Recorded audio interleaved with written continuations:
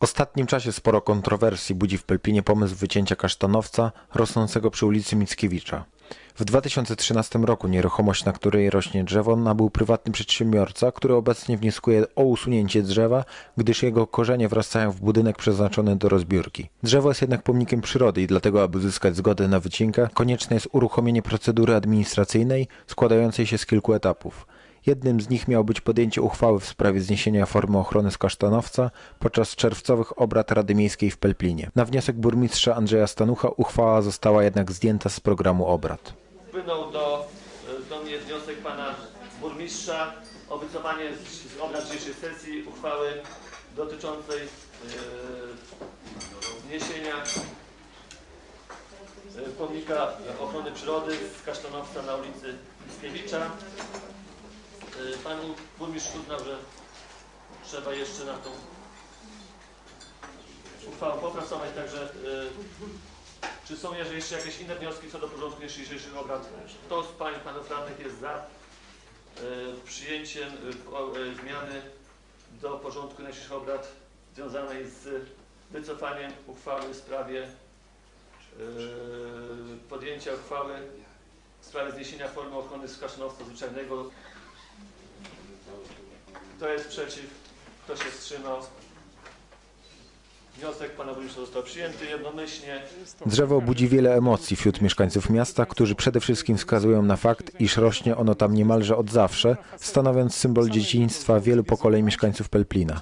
Ponadto jako pomnik przyrody stanowi element, bez którego po prostu trudno wyobrazić sobie ulicę Mickiewicza. Natomiast do grona oponentów drzewa zalicza się część właścicieli nieruchomości sąsiadujących z drzewem, którzy twierdzą, że opadające liście zapychają renny, a po ulewnych deszczach ściekająca z liści woda zalewa ściany budynków. Głosy odnośnie drzewa są zatem podzielone. Sprawa kasztanowca. Bardzo jestem tak jakoś, no nie tylko z racji sentymentu, że tam wychowałem się i, zapachu, i zapach jego owoców, e, przypomina mi zapach dzieciństwa, bo wychowałem się, tam miałem swój dom, jeden i drugi. Jest wszystko, żeby kasztan wyciąć. Ja nie rozumiem tego, jak można opowiadać się, gdybym nie jeździł na zachodzie. Mam tam córkę, skończyła studia w Cambridge.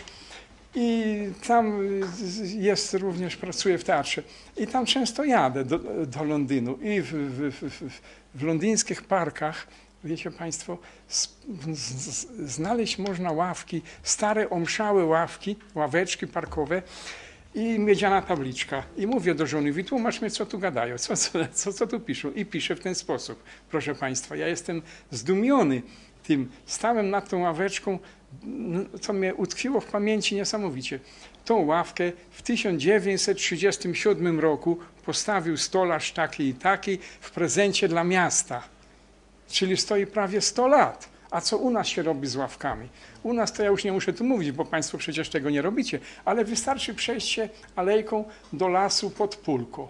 Przecież tam są ławki zdewastowane. I to zależy od nas, jak, jak będzie u nas również. Na uwagę w sprawie zasługuje także fakt, iż przed kilkoma tygodniami pojawiły się w powiatowej prasie informacje, jakoby drzewo miało znajdować się w bardzo złej kondycji.